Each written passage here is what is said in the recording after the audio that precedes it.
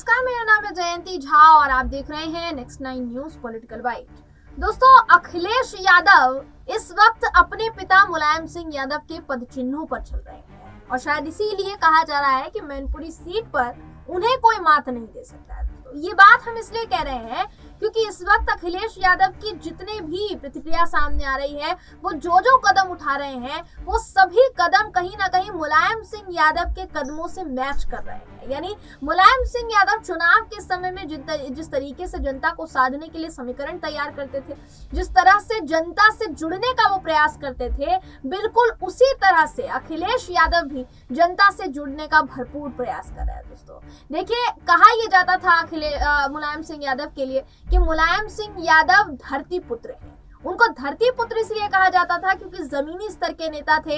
ज़मीन पर उतरकर लोगों से मिलना लोगों के साथ जुड़ाव करना उनकी परेशानियाँ जानना ये मुलायम सिंह यादव का राजनीतिक आप बोल सकते हैं कि एक दाव था। आ, उनकी राजनीतिक एक छवि थी कि ज़मीन से जुड़े हुए नेता थे धरातल से जुड़े हुए नेता थे। इसलिए मैनपुरी सीट की जनता भी उनसे बहुत ज़्यादा कनेक्ट करती थी। और अब अखिलेश यादव, जिन पर अभी मुलायम सिंह यादव के जाने के बाद सारा दारोमदार आ गया है। अब अखिलेश यादव वही काम करते हुए नज़र आ रहे हैं जो मुलायम सिंह यादव जनता को साधने के लिए करते थे। जी हाँ दोस्तों, मुलायम सिंह यादव के पद चिन्हों पर चलकर अखिलेश यादव भी जनता के बीच उतर रहे हैं और जनता से मुलाकात कर रहे हैं। देखिए, हमारे पास जो खबर सामने आ रही है, वो हम आपको बताना चाहेंगे। खबर ये है कि पहली बार नेताजी की तरह अखिलेश यादव मैनपुरी में अचानक लोगों के घर पर पहुँच गए। वहाँ उन्होंने लोगों से बातचीत की।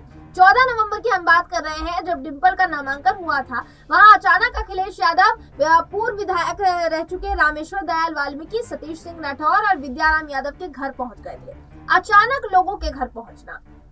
चाहे फिर वो जनता हो, चाहे फिर वो अपने ही पार्टी के दिग्गज नेता हो, उनके घर पहुँचना, उनसे बातचीत करना, आगे की रणनीति तैयार करना, कहीं ना कहीं अखिलेश यादव के अनुभव को ये दर्शाता हुआ नज़र आ रहा है और दिखा रहा है कि वो मुलायम सिंह यादव की हर बात को ध्यान में रखकर ही आगे की रणनीति तैयार कर रहे हैं दोस्तों। बहरहाल, इस खबर पर आपकी राय क्या है, कमेंट करके ज़रूर बताइएगा। वीडियो अगर आपको पसंद आया हो तो वीडियो को लाइक और शेयर करना ना भूलें। फिर मुलाकात होगी आपसे किसी ऐसी ही खबर के साथ। तब तक के लिए नमस्कार।